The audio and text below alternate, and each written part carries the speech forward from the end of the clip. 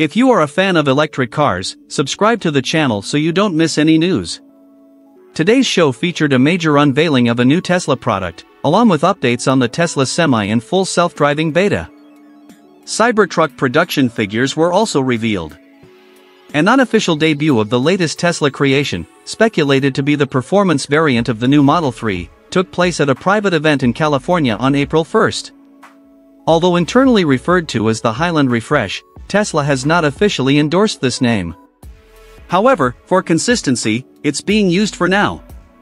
While it's uncertain whether the new Model 3 variant will officially be named Ludicrous, it fits the acceleration scale, one notch below Plaid, in line with Model S and X naming conventions. This new variant aims to distinguish itself from the previous performance Model 3, which mainly differed in suspension and brakes. Unlike its predecessor, the ludicrous Model 3 features an upgraded powertrain, lower stance, exclusive rims, unique front and rear bumper designs, and a sportier interior with specially designed seats.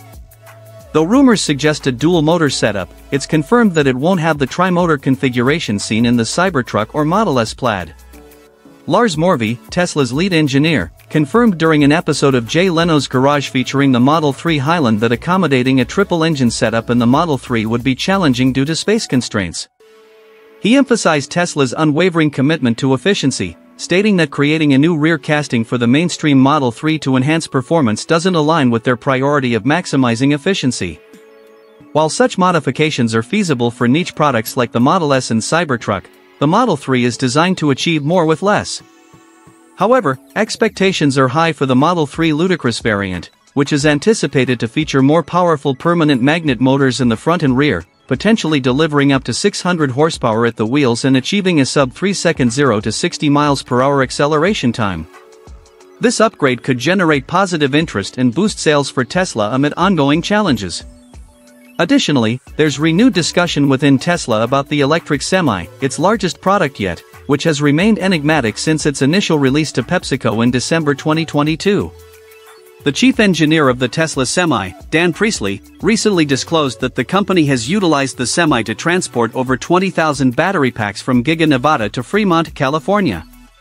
These trucks follow the same route and carry the same load as diesel trucks, but operate at significantly lower costs. Though Priestley didn't specify the number of semis involved or the duration of this operation, rough estimates suggest around 440 loaded trips from Nevada to Fremont. Notably, this route spans about 260 miles and includes mountainous terrain, showcasing the semi's reliability and capability. This update coincides with the EPA's adjustment of efficiency standards for heavy-duty trucks, effective from the 2027 model year, aimed at reducing carbon emissions by 1 billion tons. This regulatory shift provides a timeline for the Tesla Semi's full-scale production to meet the rising demand for zero-emission options in the trucking industry. Additionally, Tesla's full self-driving beta program has concluded after over three years of real-world testing, transitioning to full self-driving supervised, denoted by supervised in brackets. With the latest upgrade to version 12, Tesla introduces a comprehensive neural network-powered software stack, aiming to make their product reliable for all customers, not just those in the beta testing phase. The new software, labeled as Full Self-Driving Supervised, enables Tesla vehicles to perform various tasks under your supervision, including lane changes, following navigation routes, maneuvering around obstacles, and making turns. However, it emphasizes the need for caution and attentiveness, clarifying that the vehicle is not autonomous, and drivers should not become complacent.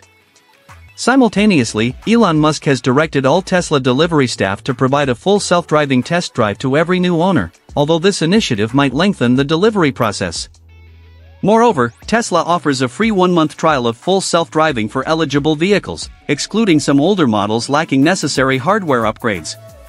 This marks Tesla's most significant effort yet to promote full self-driving adoption, which historically hasn't been widely popular among consumers, with perhaps only around 20% opting for it, especially as Tesla's customer base has grown. Nonetheless, Tesla's recent push indicates a commitment to increasing full self-driving usage. In the coming month, we anticipate seeing a wealth of data that will provide a clearer understanding of the software's performance in real-world scenarios. Over the past week, Tesla has been vigorously striving to conclude the first quarter with a surge in Cybertruck deliveries.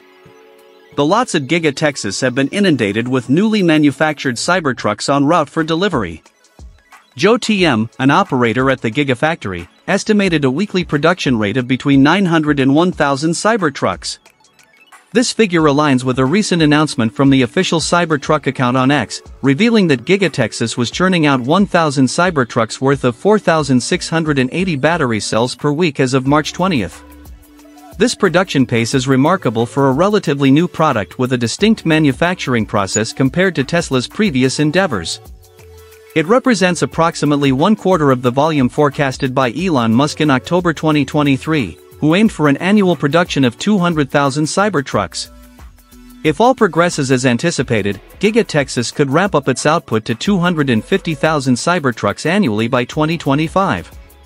Given this trajectory, it wouldn't be surprising if the factory achieves a production rate of around 4,000 Cybertrucks per week by year-end. Therefore, the current rarity of the Cybertruck may soon diminish as production scales up. In conclusion, Tesla's ongoing efforts to refine their full self-driving software and ramp up Cybertruck production signify significant milestones for the company. With promising results expected in the near future, the performance of the software in real-world conditions will be closely scrutinized. Meanwhile, the surge in Cybertruck deliveries, driven by the impressive output at Giga Texas, foreshadows a future where these vehicles become more commonplace. As Tesla continues to push boundaries in automotive technology and manufacturing, it's clear that they are poised for continued growth and innovation in the electric vehicle market. If you are a fan of electric cars, subscribe to the channel so you don't miss any news.